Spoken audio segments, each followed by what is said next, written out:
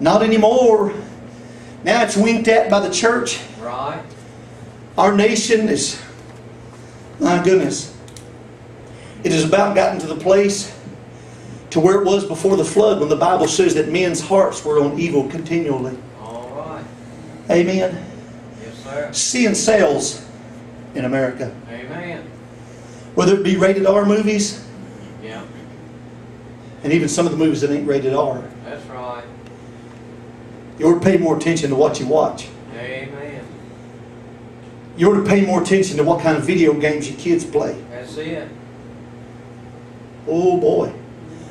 I got a that's it and didn't get another amen. Hope somebody out there is amen. amen. You better you ought to pay more attention to the things that you let your babies have. Amen. Yes, sir. The video games where they're killing each other, Right. cutting each other's heads off, and Amen. shedding blood. And finally, whenever that devil gets a hold of them and that ain't enough, then they'll take to the streets. Amen. Amen.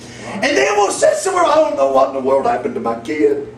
I tried my best to raise them right while they're sitting in their bedroom with their earphones on listening to some hard rock alternative junk. I tried my best to raise them right while they're sitting there in front of the big 72 inch television killing somebody and shooting somebody. Right. You didn't do your best. Amen. Come on. You might have tried in some areas, but we have dropped the ball in a lot of areas. Amen. Amen. We've allowed the devil to teach our children. That's right. Mm-hmm. And we have raised a generation mm-hmm. that don't even know what sin is. Yes, sir. They don't hear the preacher preach about it. That's right. He came, he's too busy living in sin himself. Yeah. Amen. He's too busy carrying on his affairs himself. Right. Oh, my goodness. He's too busy. He's afraid he offend somebody. Yeah. You know what I learned a long time ago? It don't matter how much I try, I'm going to offend somebody. All right. Amen. It's true. I've offended some people over stupid junk. Had one woman get mad at me because I didn't shake her hand during church. And let me explain to you the situation. She came in late, she left early. I was singing and preaching the whole time. Apparently, I was supposed to leave the platform, uh-huh. go back there and say, Bless your heart, it sure is good to see you today. Yeah. Amen. Or to get to church early. Come on. You'll stick around after we say dismissed. Amen. Then I might get around shaking your hand. Yeah. Come on. I ain't one of those people who like going around fellowshipping when it's time to worship. Amen. I'm sorry. Ain't never been that way. Yeah. I've had a few pastors like that, and one pastor anyway. I ain't crazy about that. All right. Had somebody get mad at me because I was one time I was putting the husband and the wife's name on the envelope. And when I redid the addresses to send out the newsletters, I left her name off and just had the husband's name on the envelope. So see, people get mad over stupid junk. right. I might as well preach the truth, and if that makes you mad, glory to God, I'm, I'm justified in that. Amen. Right. We've been learning how that sin, when it is left alone, it will begin to eat you alive. Amen. Right. And last week, we talked about Belshazzar. And we talked about how that God said, even though you've seen the result of sin in your father's life, Yeah. even though you've seen the result in the life of sin in the life of your father, you still, though you knew all of this, you still chose to go get the vessels from the house of God, drink out of them the wine of your in your drunken stupor and with your concubines and your wives. And I tell you what they were having, but it's kind of a word I don't like to use. It wasn't just a party; it's a sex party. Let me put it like that. And they were drinking out of the vessels that came from God's house. And say, well, that don't matter. Oh, yes, it does. When God pronounced judgment on him and whenever he reaped what he sowed, God made sure he mentioned at least twice that you took in vessels out of my house. Amen. The things that had been set aside for God, he took those things and used them for his own pleasure. And we know what happened to him. Yeah. The Bible says that a hand appeared and began to write. The fingers of a man's hand Right. began to write on the wall. Weighed in the balance and found one, and your kingdom is divided. It cannot stand. And before daybreak, Belshazzar was deader than a doornail. Right. Why? Sin. Amen. Right. Sin. That's why he was dead. Because sin, when it is finished, brings forth death. 1 Peter 4 and 17 says, For the time has come that judgment must begin on the streets. And Noah says. Judgment must begin first where? the house of God. Amen. Amen. God's going to teach His people. That's right. He's trying to teach us that sin is still deadly. He's trying to teach us that sin still kills. He's trying to teach us that confessing is not just for those that you think are lost as a ball in high weeds and don't know Jesus, but it's for you whenever you sin. The Bible says if you confess your sins, He's faithful and just to forgive your sins. Come on. We talked about what sin does to a nation. Right. In America, now we have denominations. Listen, there ain't a denomination in America right now that could convince me to join. Amen. All right. None of them. And I know that's going to curl the feathers of some of you people out there that are part of denominations, but before long, someone posted on Facebook this week, his brother, it was a pastor down in, I can't remember where he's from, Brother Scott, uh, Pastor Scott Corbin, I think. Anyway, somebody there posted about not going to Office Depot any longer because of the their support for the homosexual. Mm. Well, folks, it's going to get to where you can't go to no denominational church.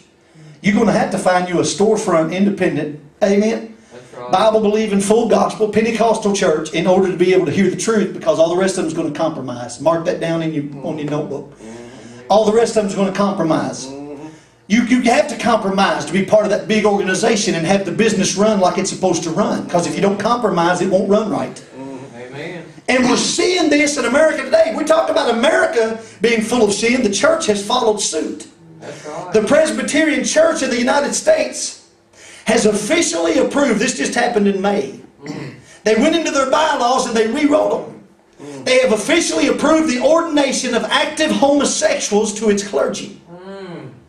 The denomination, which has 2.8 million members, did away with a policy that had required candidates. Listen to what they did away with. They did away with this part of their bylaws that said that in order to be a minister, you had to be engaged in the fidelity within the covenant of marriage, meaning that it, between a man and a woman. The fidelity of marriage, or if you were single, you had to be, you know, abstinent, had to be practicing abstinence or chastity or whatever. Meaning that you couldn't just be sleeping around. So now they've done away with that, so now it can be Adam and Steve, and they can get married. They can be preachers in their church. Amen. The preacher, your pastor, he can still hold a license with them even though he's shacking up with the secretary, not even married. Because now they've done away with the part that says in order to be a minister in our denomination, you have to either be single, you know, living a life of not perverted life, but single and not sleeping around. Or you have to be married. If you're married, it has to be a man, it has to be a woman. Well, they did away with that. That's the Presbyterian church. You know what I said when I found that out? If I was in a Presbyterian church, I'd get out. I'd get out. Amen. Amen. Right. Because I'm telling you, like Brother Hinton used to say, he, he used to say this all the time. God will allow for a little while. Amen. He'll let you go on for a little while and then he'll go. Right. He'll withdraw his spirit. I've heard him say that time and time and time again. Right. That's exactly what's happening to the mainstream denominations mm-hmm. in America. The Episcopal Church, 2.1 million members, will ordain a homosexual. The Evangelical Lutheran Church in America has 4.6 million members. They will ordain a homosexual. The United Church of Christ in America that has 1.1 million members. They voted to permit homosexual ordination. Just recently in Minnesota, during the United Methodist Ministers Commi- uh, Convention, 40 Methodist members signed a paper stating that they will marry homosexuals. Yeah. Methodists. Amen. And you know what the Methodist headquarters had to say about it? They said, well, that goes against our rules. And if they do that, they might lose their license. They might. I got news for you. The minute they signed that paper saying they would marry homosexuals, I'd have took their license right then. All right. Whether they did it or not. Listen, you think that you're going to come around me telling me that you believe it's okay for a man and a man to get married and say, hey, Brother Billy, can I preach? No! Can I put this in language you can understand? No, you can't preach. Yeah. You can come in here and you can sit on a pew, but you ain't gonna lead my song service. You ain't gonna play in my band. You ain't gonna testify on my pulpit. You ain't gonna come here and, and go around saying it's okay for a man and a man to be together and a woman and a woman to be together and all that's okay. Can I preach at your church? No, you cannot. Amen. Amen. That's the truth. No, you can't. Amen.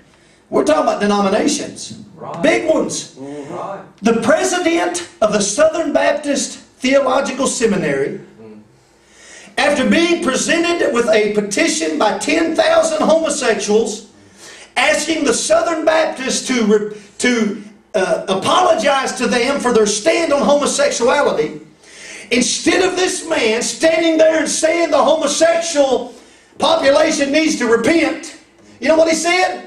He said the Southern Baptist denomination needs to repent for their attitude toward homosexuals. Mm. Well, I'd be looking for me another president. All right. Amen. True. Talking about denominations, talking about the church. Mm. Amen. Talking about a nation that has turned her back on God. Right. And you know what the end result of that is it's death. Amen. Amen. Listen, what we've seen on, on when they hit the tires and whenever they hit the Pentagon, whenever they, Yeah. we ain't seen nothing yet. Amen. Say, Brother Billy, you saying that's God's judgment? I told you last week, God don't have to judge it. That's right. All he has to do is allow his word to take course. Be not deceived. God is not mocked. Whatsoever man soweth, that shall he also reap. Reap. He don't have to pour out judgment. All he has to do is just let you plant and watch it grow. Amen? Amen. Because that which you put in the ground, sooner or later, you will reap the crop thereof. Amen? Sooner or later, you got to eat from the garden that you planted. Mm-hmm. There you go. And if you are planting sin and wickedness and destruction and, and abortion and condoning homosexuality, sooner or later you fixing to eat some bitter fruit. Yeah. Yeah. Don't you stand and wave your finger in the face of God and say, Why'd you allow this to happen? You planted the seed. Amen. You planted the seed. God did not do it. You did. Amen. We can't continue on the same road we're going on right. and not suffer the consequences thereof. Come on. You want to know what selling out to the devil does to a country? Look at Haiti. Right. Amen. Amen. In August of 1791, the Haitian Revolution began, in which the spirit of Ezili Dantor, voodoo witch, possessed a priestess and received a black pig as an offering, and those that were in attendance to the meeting pledged their allegiance to voodoo and the devil if they could get out from underneath the thumb of those that had them oppressed. Now I want you to see, go and look up on the computer some of the things that go on in Haiti, and you'll find out. My wife went over there years and years ago. It ain't no better today than it was then. Sewer running right down the middle of the street. Big ditch. Mm. You got to take a dump. I guess you just go out there and hang yourself over it or something. No water, no places to live. Come on. Oh, yeah, give yourself to the devil, and that's exactly what he'll do to you. Amen. That's exactly what he'll do to you. Right. He'll leave you broken and torn down. The church is so stupid she don't even know it. Oh, sin don't hurt me. That's what Samson thought. Mm-hmm. Right. Amen. Yeah. Sin ain't gonna, it won't have the same result for me as it did with Daddy. Oh, yes, it will. Yeah. As Belshazzar. Amen. Amen. I'm sure somewhere along the lines, Belshazzar thought, well, that old man just didn't know how to handle it. Right.